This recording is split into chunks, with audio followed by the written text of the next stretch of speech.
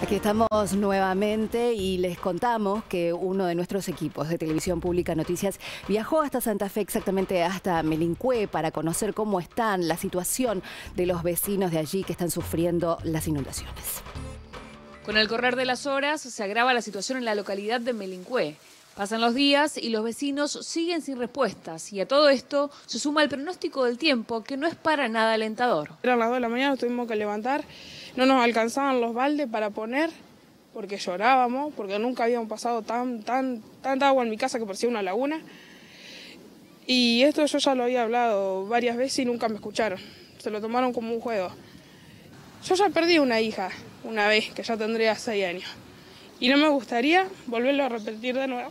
¿Por una situación como esta? Claro, porque yo no tengo bajada la luz, tengo todo zapatillas. Y si se me muere una hija ele- electrocutada, es tan feo perder un hijo, pero muy feo. ¿Nadie te ayuda? ¿Sentís que nadie te escucha?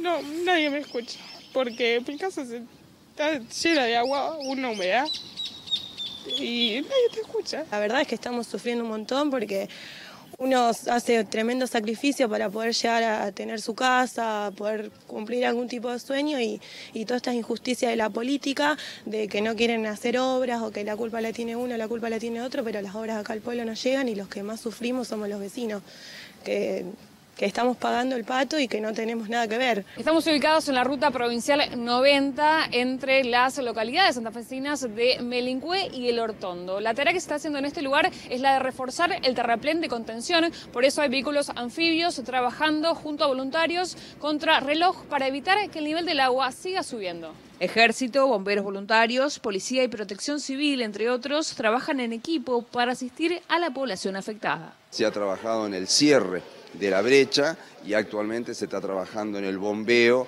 para disminuir esos niveles de agua, en el bombeo hacia un canal que termina, eh, en definitiva, alejando el agua de la zona de Melincue a través de otro canal. el canal. ¿Qué cantidad de personas eh, son evacuadas o han sido evacuadas?